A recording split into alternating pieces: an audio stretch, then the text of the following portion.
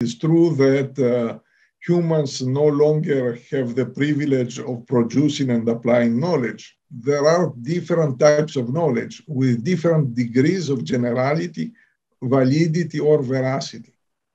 Uh, without going into technical details, there is an important distinction between empirical knowledge that is produced through a learning process and used by humans and AI systems, and scientific and technical knowledge. Empirical knowledge is based on data, is data based, as we say. We do not understand exactly how it is generated. For example, when we walk, we talk, our brains solve a, a very hard uh, computational problem, but we don't understand exactly how. Similarly, for a neural network that uh, separates images of cats and dogs after a long learning process, uh, we don't understand how it works. It learns in the same way that a child learns to do this without understanding how it is done.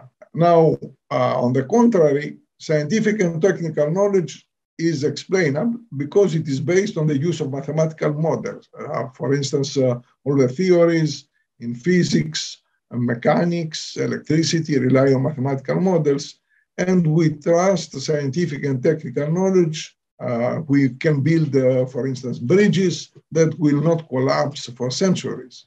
On the contrary, I said, as I said, trust in knowledge produced by AI is a matter of uh, great debate now. However, I believe that there is a very interesting complementarity between uh, machines and humans in the production of, of knowledge, and this should be underlined. Machines can compute fast and precisely and can analyze problems with a huge number of parameters, while humans can be creative and exhibit a remarkable situational awareness. So uh, what we have today, we have uh, machines driven by experts, and these machines include AI systems, supercomputers, then can analyze complex phenomena and systems. And uh, uh in that manner, we can improve our understanding and uh, develop a new knowledge in many areas, such as uh, economics and finance, earth sciences, for instance, in meteorology and earthquake uh, prediction and medicine.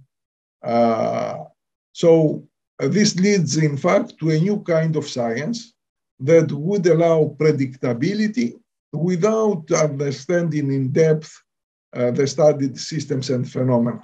Now, an important question is whether this is good or bad. So, to predict without understanding. And uh, I think that time will tell us about that.